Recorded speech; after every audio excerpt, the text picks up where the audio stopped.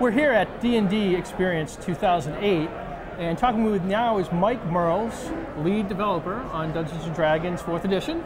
Welcome to the show, Mike. Thank you. Welcome back. Yeah. You've been on the show before. So, um, real quickly, what are your, your experiences here at D&D Experience so far? Yeah, it's been very positive so far. I kind of keep waiting for people to realize that they hate the game, but that still hasn't happened yet. They seem to keep liking it. So that feels really good. After sort of like being locked away at like WotC for months and years working on this game, finally having it in the public and people playing it and enjoying it. It feels really good to walk into the sort of the hall here and see tables full of people laughing and playing the game and enjoying it. So that feels very gratifying. So, so what's, uh, what's kind of the most frequent questions you've heard from people? A lot of really technical stuff. Just, you know, how does this ability work? How do these two abilities interact? Part of it is that these aren't the final, final rules.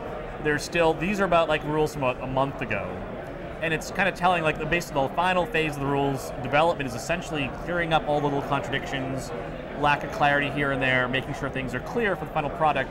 So we're really generally getting questions like, this says this, and does that mean X? You know, like yes or no? Or, and almost all the questions have been, we've already answered that, I already know the right. answer right off the bat. Right, so, okay. That's good. The biggest thing has been uh, the sort of the paladin has this ability to challenge a monster to make you either fight the paladin or take some damage. And paladins have figured out right now what they can do is they can challenge one, say, hey, you have to fight me, and then they run away. And That's so the monster's chasing around taking damage. Very yeah. paladin-like. Yeah, exactly. So, and we fixed that. That's something Okay. we figured out like a, like month Oh, ago. right, but okay. so it's sort of funny to see that problem come back at me. Like, no, no, we got that covered. Don't worry about it. That's cool. So um, one of the things that people have been asking for is like a little bit like design philosophy on certain things and, and some information in crunch on stuff.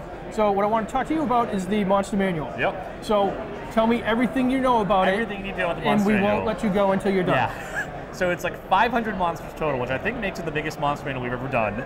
Uh, I hope I'm getting the number right. It's something like 500, I think. But whatever, it's a lot. The um, the most important thing with the monster manual is sort of getting back this element of surprising players. That when people are playing the adventures here, there's an adventure where they're fighting kobolds, and the kobolds aren't just there are some kobolds, they're just little chumps that you can just hack through.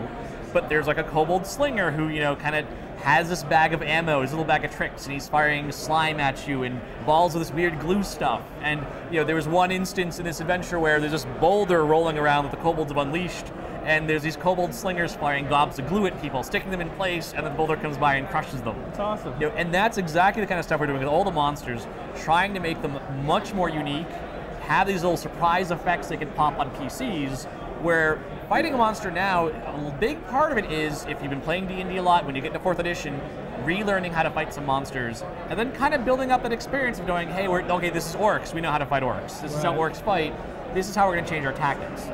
To really make every encounter feel different that, and even within, like, say, the orc tribe, like the kobold tribe as an example, there's different types of kobolds you can fight. They're, they're priest, and they're wizard, and they're, they're slinger, and the archer have different little abilities. They're themed together so they feel like kobolds, but every guy has like this little trick he can pull. Right. You know, there's one adventure where there's uh, the, the other sort of preview adventure, Escape from Sembia, where there's this nasty skeletal guy, and one of his arms is replaced with a sword.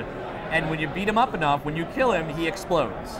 You know, and people just that hasn't you know people don't know that yet. They haven't. It's their first time playing fourth edition. So they have to learn that the hard way the first time. Yeah, and it's fun to see people lear- like relearning the game. You know, everything old is new again, and it's it's good to see that resonating with people. People really feeling, even those jaded gamers are seeing cool new stuff that's coming up and feeling challenged again by the game. Right. So, and that's a big thrust of the monster manual to, to make monsters sort of mysterious and, and kind of scary again. So w- when online, I know you follow all the online forums pretty well, and you're, you're blogging a lot. What do you think is the biggest question? If you could answer one question about the monster manual for people that comes up the most, what would that be? The biggest issue that people ask about is monsters are still very customizable. I get a lot of questions about can I add character class levels to them? Are there templates? Can I change a monster's level? And we still support all of that. Uh, in some of the published adventures we, I've worked on, like uh, the H series that's coming out, there is a there's a Gnoll Warlock. There's an NPC human wizard you fight at the end.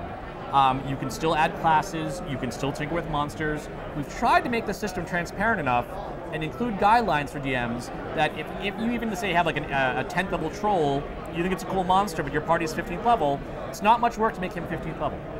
You know, and whether you're doing that just by adding levels to him, if you want to add a template to him, there's a lot of tools still in the game. You have just as much customization options in fourth edition as you've had in, in third edition.